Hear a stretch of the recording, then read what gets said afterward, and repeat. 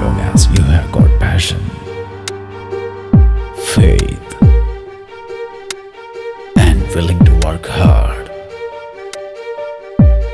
you can do anything you want to in your life.